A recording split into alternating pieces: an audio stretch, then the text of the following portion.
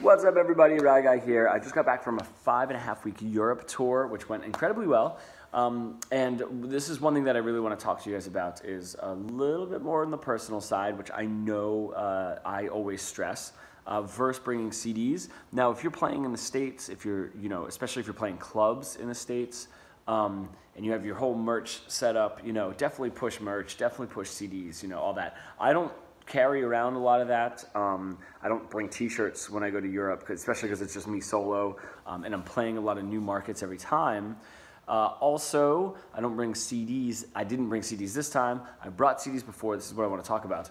It seemed like, um, you know, people will. It, it's tough to get them to sign your mailing list. All right, and then it's even tougher to get them to give you money for a CD.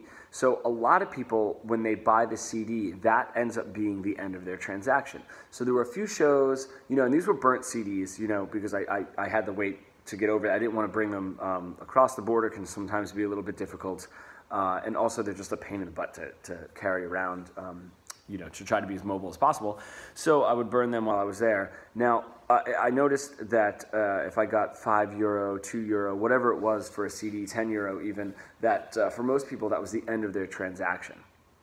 Then I never really heard from them, or I, I, I would only hear from about 10 to 20% um, after, you know, after a tour. Um, and then there were a lot of people that I just kept in touch with. Um, and they would start following me on social media and then see that I was coming back, see that I kept playing, you know, and then we, we would be in touch. And then when I would put up like a, a little flyer of when I would be back in Europe, they would reach out and we, would be in touch. So I wanted to try to bridge that gap because it kind of seemed like personal, bought the CD, okay? Uh, and you know, you need money when you're on tour, that's fine. So what I did this time was I didn't bring any CDs with me and the CD drive in my laptop actually broke. So, and I didn't realize until I had gotten over there. So I, I decided to get these business cards made up. And I said, you know, I walk around after my set and I'd hand out these business cards and introduce myself. And and again, what would happen, I would say, you know, I really want to keep in touch, like blah blah blah, social media. Like I can give you guys links to get our music for free because our music's for free all over the place. Um, and what I noticed is if, if, if somebody, some, they, they, would add me like right there on, on, on Instagram or whatever it was because they, they knew my name they they wouldn't take the card and then do it later. Now this happens too. You know, um, if I didn't have a strong personal connection with you know one of the guys that I played with that night, um, that I would I just met at the venue. You know, he did a set, I did a set, blah blah blah. If we didn't have a really strong bond, we would trade information, and then you know, because I got on, I'd have to get on a train, you know, check into another hotel, blah blah blah. It kind of got in the way, and I never really got a, a hold of him to send him, you know, the videos that I took or whatever. But the people that I did have a personal bond with, we're, we're in touch now, weeks after, and we're even planning the next time I go out and then bringing them over to the States.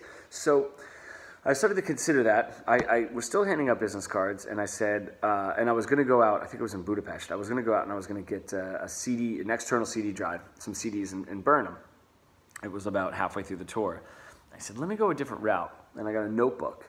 And uh, for the rest of the shows, I would say on stage, I said, guys, listen, I didn't bring CDs, so this is kind of like a little bit of leverage. I didn't bring CDs or a pain in the butt to travel with. I do have a bunch of albums out. If you guys want, please sign the, the, the, email list and I'll email you guys the links of where to get it for free, where to get it from cheap, all that. And I would say, I really, really want to keep in touch with you guys. I like rather, you know, being personal and, you know, seeing you guys the next time I come in and building up a little bit of a group. That worked incredibly well, actually, because I have the notebook even here. Um, we did a couple living room shows, which were great. And not only did I get that, but I would get like these really cool notes and stuff from everybody. And that's way, way more personal. So now everybody here is going to get a personalized email from me. Uh, and then I have their emails marked down um, in a little like spreadsheet of where they're from. So next time I go out, I can kind of keep in touch. But then, you know, all of those people now seemed a little bit more inclined to add me on social media. There wasn't a gimmick and there wasn't really like a selling point. Now, the reason that this is really important is because I, I'll see them later, so they'll come back to a show. They're following on social media so that they know that I'm, I'm active and I'm out there and I'm pushing it, and that kind of gets them, a, you know, a little bit more excited for the next time I come in. Um, and then the next time I come with an album and a T-shirt, they're more inclined to buy it. That's the money part. Okay, that's not really what I'm worried about. But this is way more important to build up the tribe than one of the first tours that I did where I brought those CDs and yeah, I would make my money for the next day, make you know an extra 15 or 20, 25 euro, um, which is which goes a long way, um, which is great, but I, ne- I didn't see those people the next time that I went back to those cities because I had no way to get a hold of them. So this is something that is working very well. My only downfall is I didn't think of this sooner in the tour, um, but still, like just you know, I played a show. It was actually in Budapest before I got the, before I bought that notebook, and I got up there and uh, and I even said, and this is another tactic that really really works, is guys add me right now, and I, I spelt my whole name out.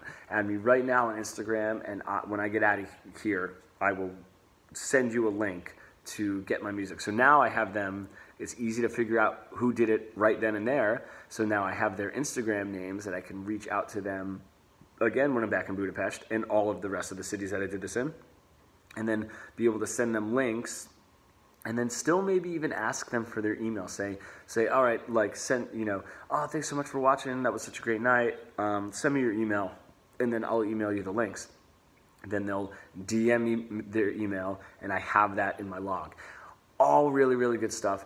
But the main thing, and I know I've said this before, is it has to be something that you care about you're not going to be able to build these relationships if the only thing that you're thinking is that bottom line and that money. That's actually the last thing that I'm thinking about. Um, I know that I said, you know, next time I bring a CD and a T-shirt, they're, they're going to be more inclined to buy it. Yes, they are, and I won't have to sell it.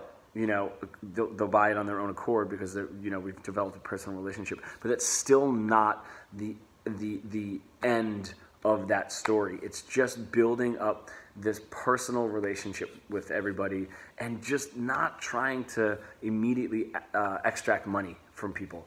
Um, if you don't care about fans or people or personal interaction, uh, I suggest maybe not doing this, and I also maybe suggest not not being a professional musician now, because uh, it, it's not that there's no more of that you know, kind of Guns N' Roses, Led Zeppelin mystique, you know, uh, you got to be really personal. So, uh, just some ideas that worked for me on this last tour, guys.